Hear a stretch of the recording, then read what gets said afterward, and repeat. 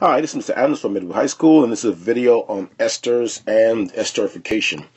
Um, esterification is a very, very um, important reaction in industry. It's used a lot with anything related to perfumes and flavorings. Um, it's made a lot. It's used a lot to make a lot of artificial type flavorings that represent um, different types of fruits and whatever. Okay. It's typically recognized by an organic acid, some type of carboxylic acid, reacting with alcohol to give you the ester and water. Okay. Now, the thing about it is sometimes it looks confusing, but here we go. Now we can think, we can memorize it like this: acids, right? If you remember the Arrhenius theory, give us um, H plus, right? So we can think of the H plus of the acid and the OH of the alcohol, the two things that identify the groups, okay, coming together to give us water, right?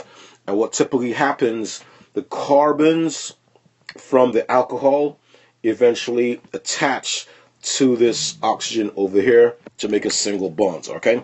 And you produce an ester over here. So remember, all the time, the single bonded oxygen over here, okay, contains the carbons that came from the alcohol, all right? And the rest of this guy right here, all right, the rest of it comes from the acid. And the C double bond O group. OH would be acid, but if you put some carbon here, okay, you now have an ester on your hands. Okay. Now, in terms of naming esters, all right, we follow these rules right here. The carbons from the alcohol get treated as a branch or alkyl group, and alkyl groups, remember, and have a YL suffix ending, all right? And how do we recognize the carbons from the alcohol as opposed to the carbons from the acid? The carbons from the alcohol are always attached to single bonded oxygen only. So if you look at these two pictures, this one upper right right here, this carbon right here is attached to single bonded oxygen only. He came from the alcohol. These carbons right here um, are attached to single bonded oxygen only. They came from the alcohol. So that's how you know. So no matter how they draw the picture, I give two different representations here. Okay, um, those carbons came from the alcohol. The rest of the units, the rest of the of the molecule came from the acid. So now we're going to follow the rules in terms of naming the acid. Now I want you guys to pause the video and see what you do.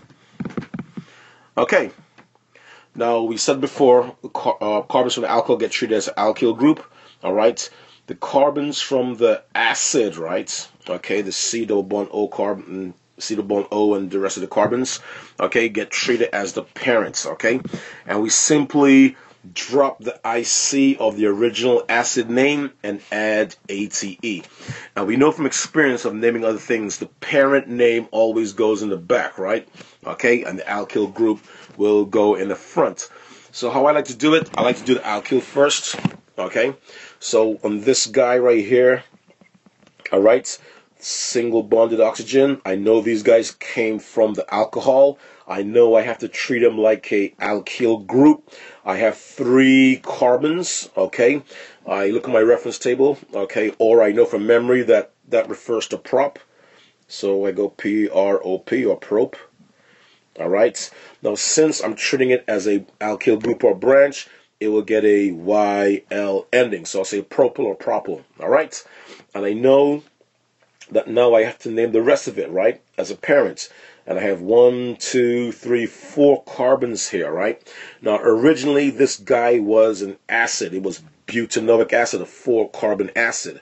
Now, what I'm going to write down is B U T A N, right? Now, I'm not going to write the OIC down because what happens is we'll we're going to, we're going to drop the IC, so it's going to be butano. The IC gets dropped and we add ATE. So it goes to butanoate. It was originally butanoic, right? But we dropped the IC and added ATE, and that's how we got butanoate. So propyl butanoate is our answer for that guy, and you're done. Okay, so it's not that bad. Once again, I have this other guy over here. All right, I have my carbons attached to single bonded oxygen, so I know I'm going to treat it as my alkyl group. So I'm going to say I have one carbon alkyl, so that's M-E-T-H, meth means one, Y-L ending, okay, treat it as alkyl group, a branch. I have, once again, one, two, three, four carbons right here. So that'll be methyl, okay,